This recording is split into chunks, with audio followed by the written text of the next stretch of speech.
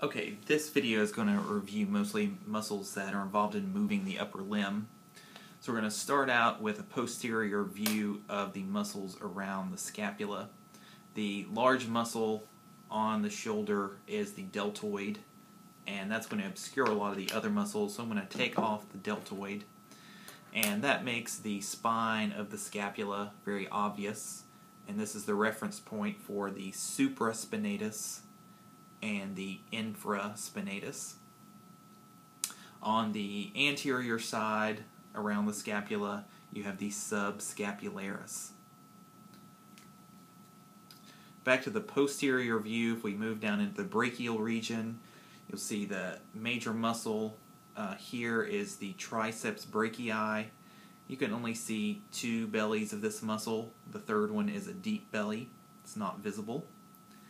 Then as we spin around, you have this intermediate brachialis muscle.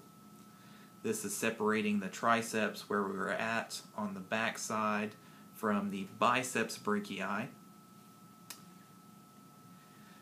Then going down to the forearm, around the radius side, if I give you this view, you can see we're on the thumb side so if we look at the forearm in this area, you have a major muscle that is going to wrap around this.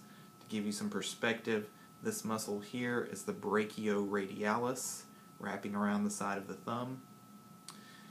And the other important muscle here, if you follow the muscle going down to this major tendon that spreads out on the posterior side of all the digits, this muscle is the extensor digitorum.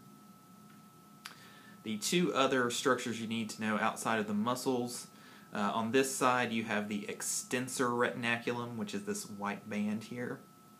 Then on the anterior side, you have the flexor retinaculum.